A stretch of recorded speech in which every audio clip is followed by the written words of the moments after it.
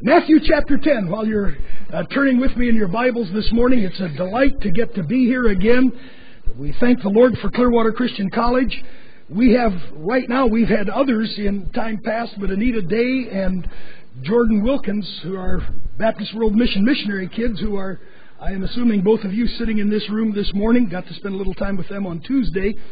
And we're grateful for this school, for Dr. Stratton, for the leadership here and for what God's doing in lives. And that's what this is all about, is not only getting an education, but also your heart challenged and prepared and challenged to invest your life for the glory of God. Matthew chapter 9, we took a very brief look at that the other day, where the Lord Jesus Christ looked on the multitudes, he was moved with compassion, because they fainted and were scattered abroad as sheep having no shepherd. What a desperate, what a desperate spiritual condition to be wearied out, spiritually exhausted. The word picture is a word picture of those who have been flayed or skinned. Weary. They were, they were, uh, because they fainted. And then they were scattered abroad with no shepherd. Is it not amazing that the one who said that they were scattered as sheep having no shepherd, is the one who had laid on us, wandering sheep, the iniquities of us all, Isaiah 53 6. Is it not amazing that he is the one who would say, I am the door. By me, if any man enter in, he shall go in and out and find. Pa- he shall be saved and go in and out and find pasture. I am the good shepherd.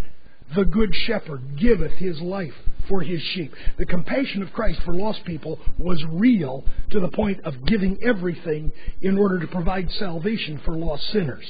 He gave us a command pray the Lord of the harvest that he will send forth laborers into his harvest. The Lord Jesus Christ obeyed his own command. We do not have it here in Matthew 9, but in Luke chapter 6, you can begin to read verse 12 and following where he spent an entire night in prayer to God, and after doing that, he called his disciples to himself. I don't know how many there were. A traveling rabbi could have had as many as a 100 or a 120 uh, disciples who traveled with him, who listened to him as he taught, who learned from him, who followed him. But he called his disciples, and from them, the Word of God tells us there in Luke 6 or Luke 12, he chose 12 whom he named apostles. And that is a parenthesis between Matthew 9 and Matthew 10. For in Matthew 10 and verse 1, we read that when he had called unto him his twelve disciples, he gave them power against unclean spirits to cast them out and to heal all manner of sickness and all manner of disease. Now, the names of the twelve apostles are these, and then you have them listed there Peter and Andrew, and James and John, and Philip and Bartholomew, and Thomas and Matthew, and James the son of Alphaeus, and Lebbaeus, whose surname was Thaddeus, Simon the Canaanite, and Judas Iscariot, who also betrayed him. But I want you to notice, young people, that in those verses, chapter 10 and verse 1, he calls his 12 disciples. Then you have in verse 2, those same 12 are identified as apostles. Disciples became apostles. A disciple is a learner. A disciple is a follower. From those disciples, he chose these 12 apostles who had at least three critical functions to the Christianity that you and I enjoy today. The early church continued steadfastly in the apostles' doctrine, for Jesus had promised them that the Spirit of God would bring to their memories those things that He had spoken during His earthly life. It's one of the reasons we don't have any apostles today, despite those who claim the title. Uh, you'd, uh, you'd be rather aged uh, if you were an apostle today. Then we are told not only that, but Paul tells us in Ephesians chapter 2, when speaking of a local church, to the church the, of the Ephesians, that you are built upon the foundation of the apostles and the prophets, Jesus Christ himself being the chief cornerstone. They were the ones who gave us the written word of God, and the New Testament is the basis upon which our local churches function today. Then, the third thing, they were the first generation of missionary evangelists who scattered across across the world with the gospel of the Lord Jesus Christ. Tradition tells us that Andrew died in Greece. I have been in Albania where Paul preached. He talked about having preached from Jerusalem all the way around to Illyricum, which is modern day Albania.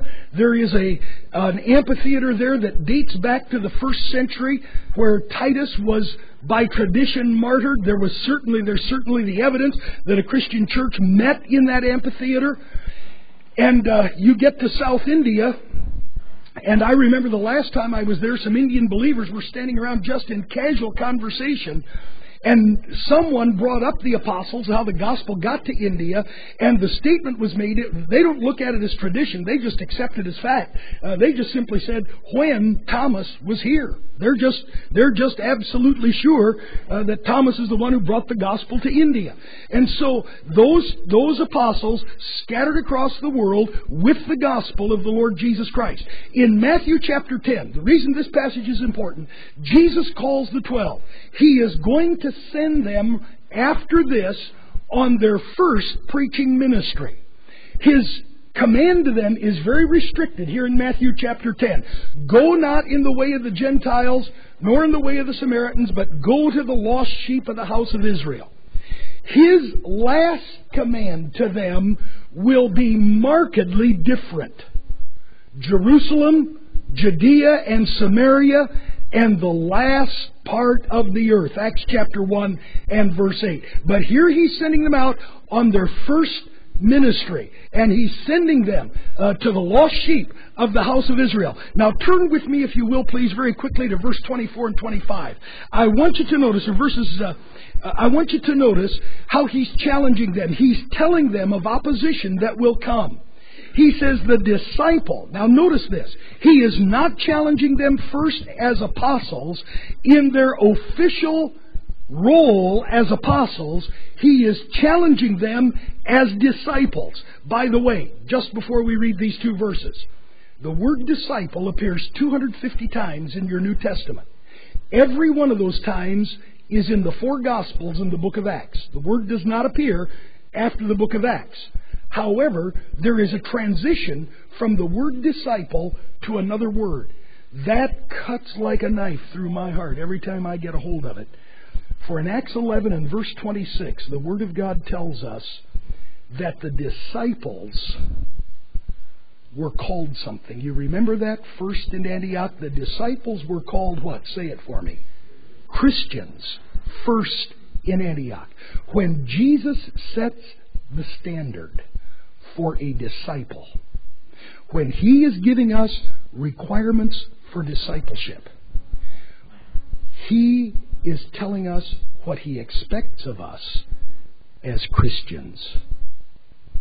And he says in verse 24, The disciple is not above his master, nor the servant above his Lord.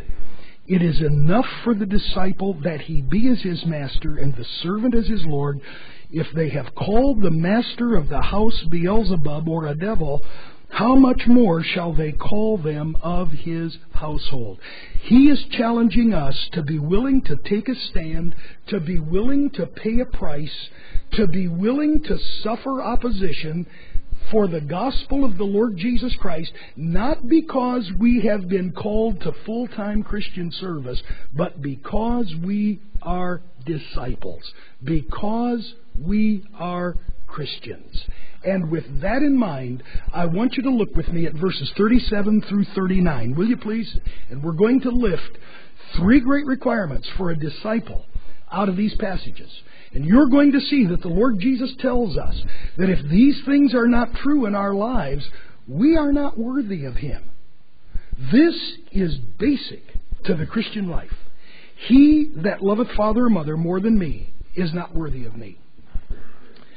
He that loveth son or daughter more than me is not worthy of me. And he that taketh not his cross and followeth after me is not worthy of me. He that findeth his life shall lose it, and he that loseth his life for my sake shall find it. And I want you to see with me very simply, very quickly, this morning, as Jesus commissions these first 12 missionaries, he challenges them because they are disciples, because they are Christians, what does the Lord expect of you and me? And young people, if we can settle in our own lives the issues of discipleship, then out of a student body like this, the Lord will call the ones He wants to full time Christian service. The big issue is first settling what the Lord Jesus wants from us as believers, as Christians. Notice, first of all, verse 37 a disciple loves Christ supremely. Notice that statement again. He that loveth father or mother more than me is not worthy of me, and he that loveth son or daughter more than me is not worthy of me. Now, I want, to, I want you to stop and I want you to think with me for a moment, first of all. Will you please? What does Jesus mean by this? This is something that ought to bother us. Um, does the Word of God, does the Word of God say, Husbands, love your wives as Christ also loved the church and gave himself for it? Does, does Paul still tell Titus to teach, to have the older women teach the younger women to love their own husbands? Is that still in your Bible? Is it still in your Bible? Honor your father and your mother that your days may be long upon the land which the Lord your God giveth you? Is that still in your Bible? Is children obey your parents in the Lord, for this is right, still in the Word of God? It's all still there, isn't it? The Son of God is not going to command us as believers to disobey the plain commands of the written Word of God. The Lord Jesus Christ is after something far more important than that. And folks, I don't know a better time to preach this on this campus. You, you stop and think about it. He that loveth father or mother more than me is not worthy of me. He that loveth son or daughter more than me is not worthy of me. And a highly respected and loved faculty couple have just laid a son to rest.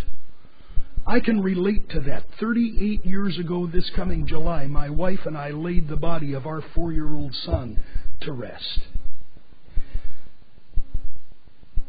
A young woman is right now, one of your fellow students, grieving the loss of her mother. Another is with her mother in a very serious physical crisis. Those human relationships are God ordained. They are God given. They are to be enjoyed.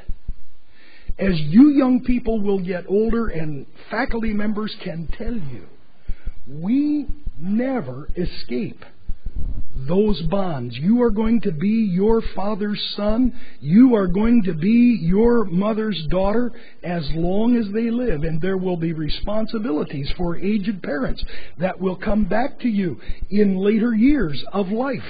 And Jesus is not saying that we abandon those. He is not saying that we, uh, that we set those aside. I have two daughters. One is a pastor's wife up in Baltimore, Dr. Stratton, I think it was a year ago, yeah, just a year ago now, was up there for their high school commencement and spoke uh, in their church. Uh, we had a ball raising daughters. Uh, my oldest girl lives in Raleigh. Her husband is a computer programmer, and they're active in a local church up there. Uh, my, my oldest daughter's 5 feet 11 inches tall. The youngest one is the short one. She's only five ten and a half. And they were they were basketball players, they were volleyball players, won state Christian school championships in Alabama when they were kids. My wife and I had an absolute blast raising kids. We, we enjoyed the teenage years, we enjoyed the college years, greatly relieved when they got married and somebody else began paying the bills. But other than that, uh, we were uh, we we had an absolute. It was just a delight. The child raising years were absolutely wonderful years, and I can stand here and tell you, and if they were here, I'd say it in their presence. We didn't have a minute's worth of trouble out of either one of them. We were blessed. We were, and some of you maybe were your parents' problem, but that's that we won't go there either. Okay, but. Uh, but we had an absolute blast raising kids. I think oldest one's going to be 39, youngest one's going to be 37 in just a few weeks. I think that the relationship with those girls, their husbands, six grandkids, is deeper and more intimate and stronger now than it was when they were kids growing up. And as I said, The growing up years for mom and me were thrilling, wonderful, enjoyable years. Those relationships are God ordained, they are intimate, they are God given, and they are for our good, and they are enjoyable. And we have responsibilities that come with them. Jesus is not saying abandon those responsibilities. What the Son of God is saying is this as much as you love father or mother, as much as you love son or daughter, as deep as those ties are, as intimate as those ties are, your love for me must exceed your love for anyone on the face of this earth. And as much as I love my wife, as much as I loved my parents when they were here, as much as we love our kids, our love for Christ must exceed our love for anyone on the face of this earth. And there are times when we must put our love for Christ above family relationships. I'm only going to give you one illustration of that. I take you to the 1500s. I need to get back in my books and check my date. I think it's 1531 in Zurich. The Reformation is in full bloom. Ulrich Zwingli is the dominant religious figure in the city of Zurich, a reformer, preaching justification by faith, committed, I understand, so to the authority of Scripture that when he preached from the Old Testament, he had a Hebrew Bible in the pulpit. When he preached from the New Testament, he had a Greek Testament in the pulpit. Not too many of us would do that today. Not many preachers could do that today. And there was a group of folks who later became known as Anabaptists who got sold on the authority of Scripture. And as they began to work in the New Testament, they came to a conclusion that though Zwingli was right in preaching the authority of the Bible and right in preaching justification by faith, he hadn't gone far enough. The New Testament taught, make disciples, baptizing them in the name of the Father, Son, and the Holy Ghost. And every time you find it in the book of Acts, you find the gospel being preached, people being saved, following the Lord in believers' baptism, united to a church. Believers' baptism, not infant baptism. Regenerate church membership, not bringing infants unsaved in the membership of a church. And George Blaurock and Felix Manz and Hans Grebel baptized each other and the Anabaptist movement in Switzerland was born there, and it created such a stir that young bachelor, late 20s, early 30s Felix Manz, scholar in his own right, was sentenced to be executed for creating such trouble and such threat to the public order. Zwingli would later die on the battlefield. The day that Felix Manz was drowned. He was bound hand and foot, stood in a cart, and led through the city almost on a death parade toward the Limmat River where he would be drowned. They took a stick, bent him over, ran a stick between his elbows and his flexed knees so that he was locked rigid, and dumped him into the river to drown on the way through the city as he was led on that ghastly parade. It was a Saturday morning, and people gathered to watch. Felix Manz's mother stood in the street, watched her son being led to his death, and called out to him and urged him to be faithful to the Lord. He that loveth father and mother more than me is not worthy of me. He that loveth son or daughter more than me is not worthy of me. That brings me to a second truth I want you to see this morning. Not only does a disciple love Christ supremely, but I want you to see with me as well that a disciple follows, or, or, or uh, a disciple follows Christ submissively. Notice the 38th verse, will you please? He that taketh not his cross and followeth after me is not worthy of me. Now, young people, when you and I hear the word cross, when we think of the cross, we've just marked with the rest of the world Easter. We think of the suffering of the Lord Jesus Christ, His death for us, His substitutionary death on Calvary's cross, the wrath of God that was poured out upon Him, the justice and holiness of God that was satisfied on our behalf as He died, the concept of, of uh, substitution. He was in our place. Forgiveness, justification, redemption, reconciliation to God, sanctification, ultimately our glorification. All of that flows from what Jesus did for us at Calvary. And that's immediately what we think, isn't it, when we think of the cross? Understand that this is spoken three years before the Lord Jesus is going to die. The twelve understood none of that. What they understood was that the Romans executed criminals by crucifixion. I understand that the only Roman citizens who were normally executed by crucifixion were deserting Roman soldiers. Other Romans were done the dignity of beheading when they were sentenced to die.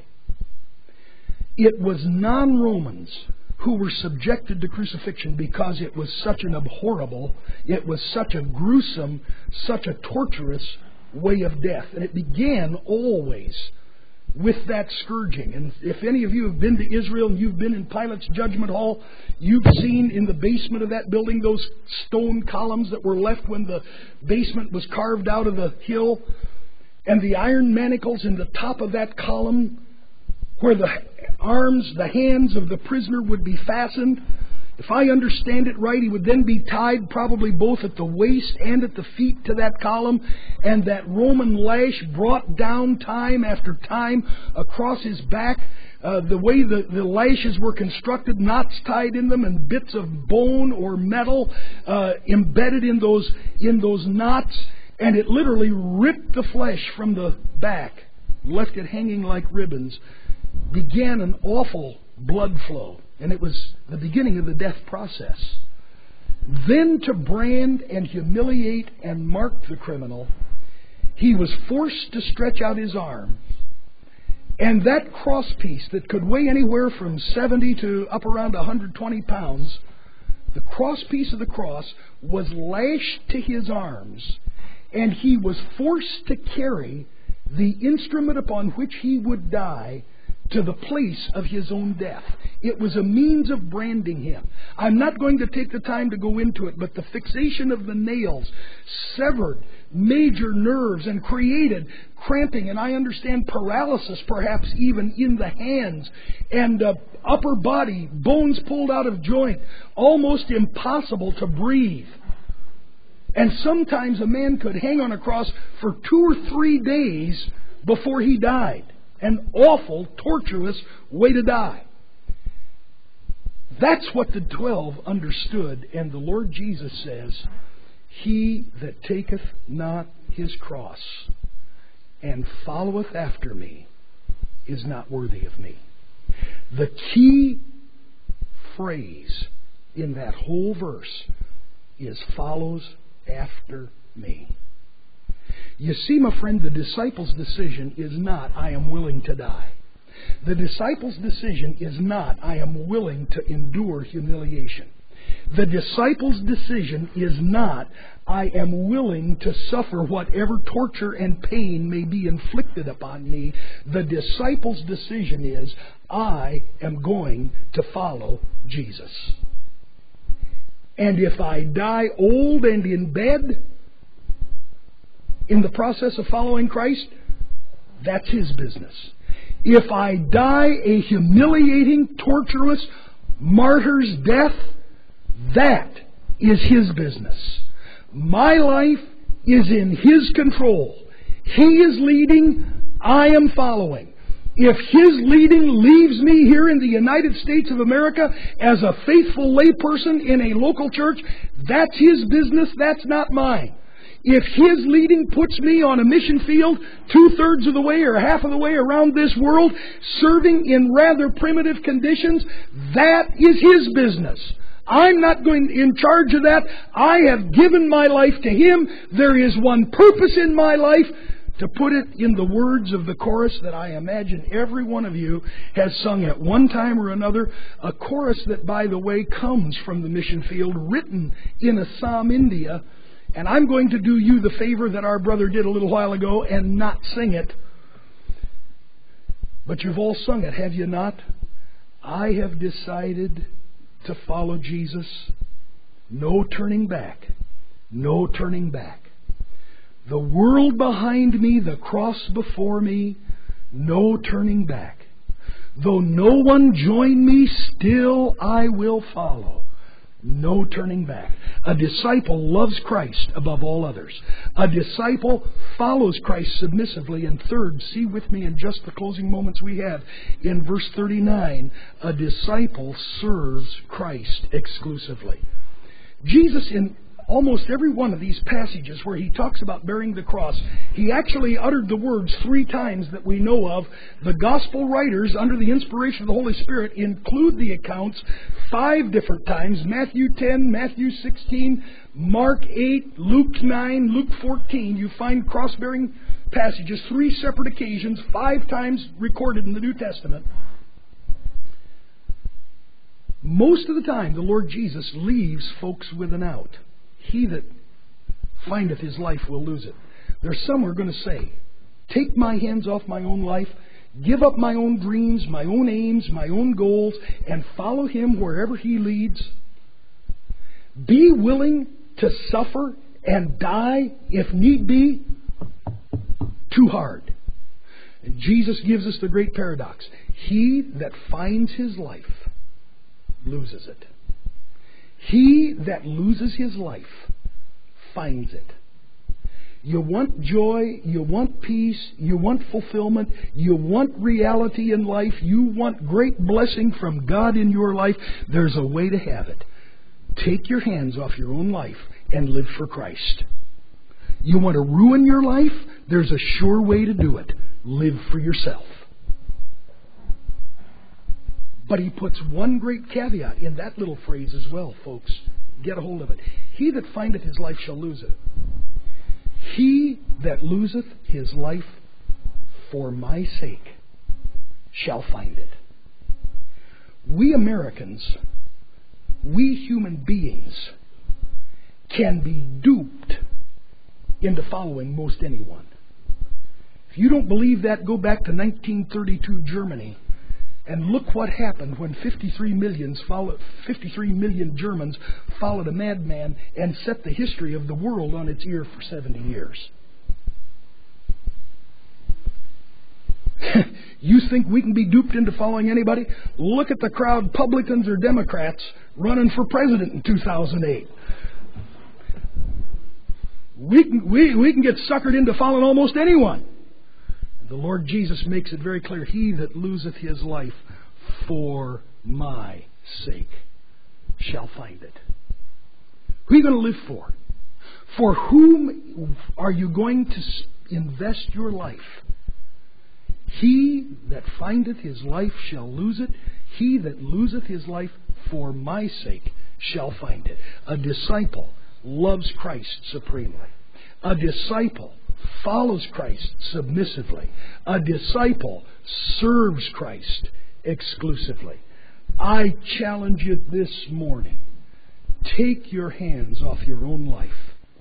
Determine, Lord Jesus, your will for my life. I am going to follow you. I'm going to love you as the Word of God commands me above all others on this earth.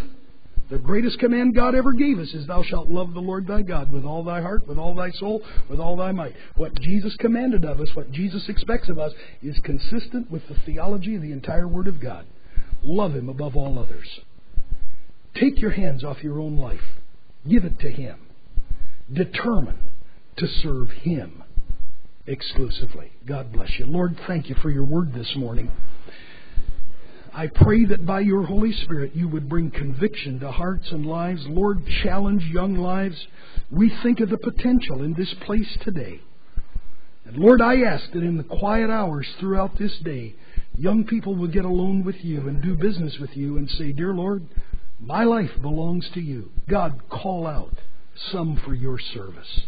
Lord, take all of these lives.